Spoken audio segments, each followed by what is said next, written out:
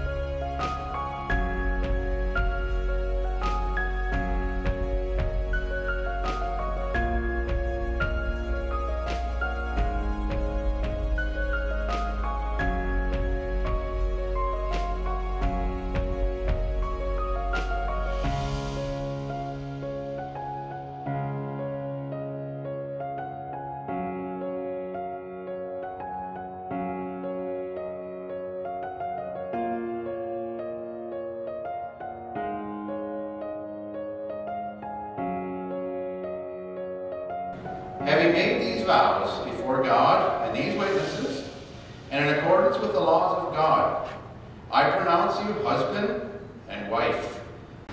So it is now my pleasure to introduce to you Mr. and Mrs. Spencer and Trisha Weber. Go forth as husband and wife.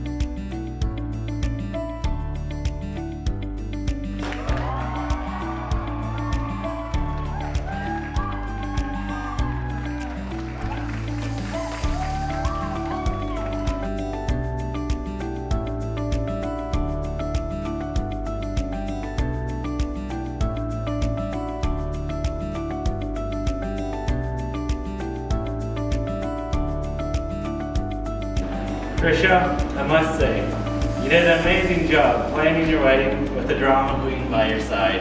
I honestly don't know how you managed. On a more serious note, I love you guys. I'm praying for you as you begin your life together and always remember to keep Jesus as the center of your home. Ready? I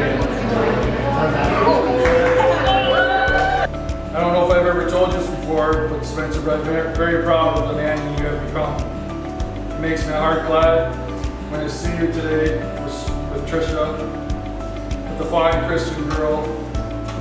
It uh, gives the father a peace of heart knowing that you're walking with the Lord and that you found uh, a mate for the rest of your life.